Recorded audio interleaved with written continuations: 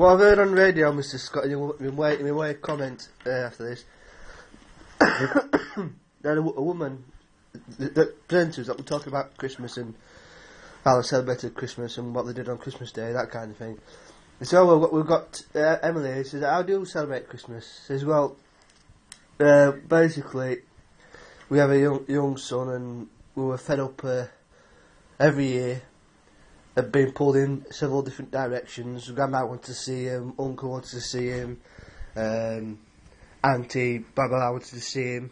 So somebody said either husband or uh, herself said, "Why don't just go out and do some and have your, have your own Christmas? We'll have a fish finger sandwich." And that's what they did. Hmm. So it said it's much simpler than being tossed about left, right, and centre. People wanted to see us go all, all over different places. Well, my idea of a, jam sandwich at, Bridlington. Ah, but you said though fish and chips to begin with, but you Yes. said that wasn't possible. It wasn't possible. But um, we could have had fish and chips if it had been possible. Oh wow, yeah, But, however, we did it with my grandson. yeah. No, it's on, it's on video, isn't it? So, Yeah. But- what year was that? oh, don't know. The 2005.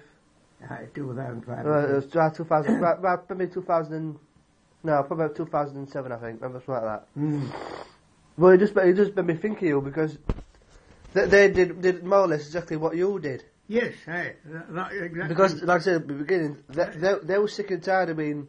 Uh, Yeah, oh, we m- messed about really. they said, well, much simpler just to just to bugger off and have a fish finger sandwich.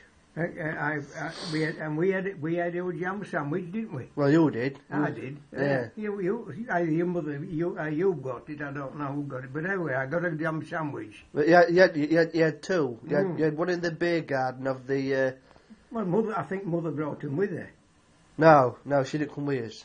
Ah, She get, she gave them to you in the kitchen. ah, yeah.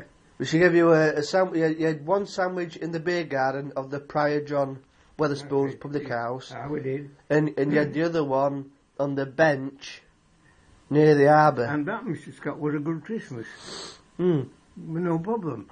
Yeah, but you, you also had your normal dinner as well. I mean, there wasn't no No, being no. pushed around, but with that woman there, when she said, and all they did was they sat down in front of the telly, they had, they had lager, they had fish finger sandwiches, there was no washing up to do hardly, no, no relatives to try and please, there was no stress, it was just nice and simple.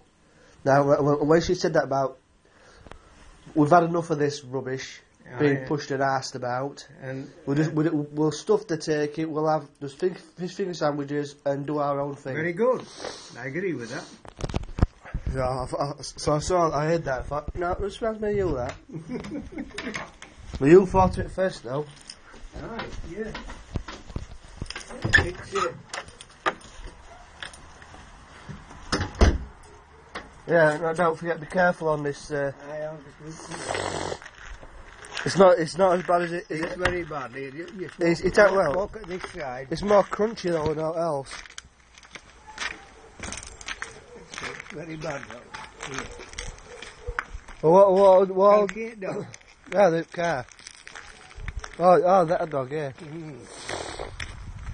What I'll do is when, when we finish in here, I'll bring the car up to here so you don't have to walk all over this again. Mm.